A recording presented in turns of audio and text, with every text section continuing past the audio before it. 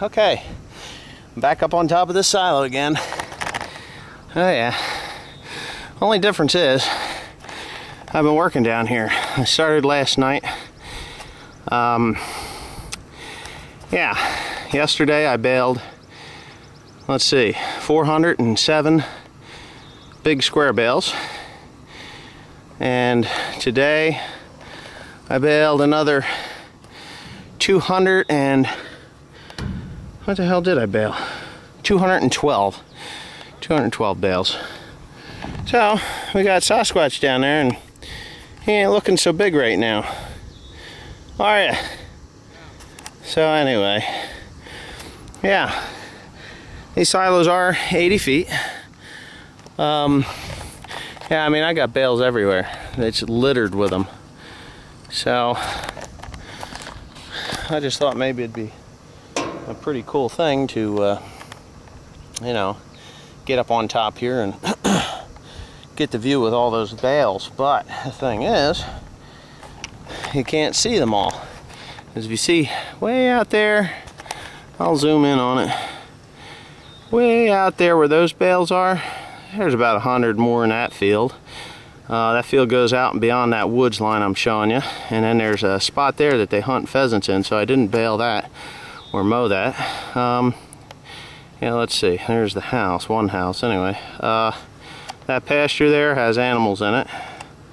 There's a few little beefers down in there, little guys. There's mama. Um, yeah. So, yeah.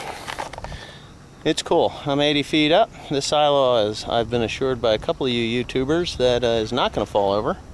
So, I know it won't. I've been up this thing several times now.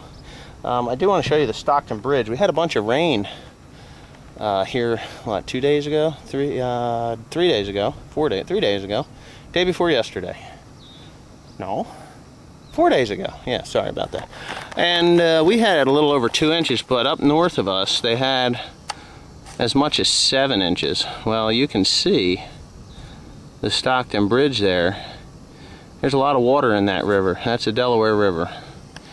So that's only about 20 miles north of where George Washington crossed.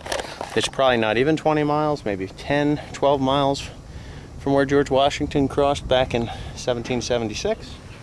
Um, yeah, but it's pretty cool. Uh, I put my baler away. Uh, so that's not even on here anymore. And there's Sasquatch down there again. Now look how small he is.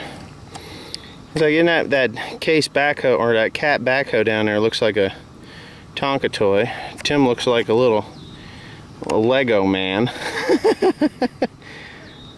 oh, what was that? You acting retarded? Sasquatch. Yeah, there you go. He just needs a gorilla suit and he would fit right in.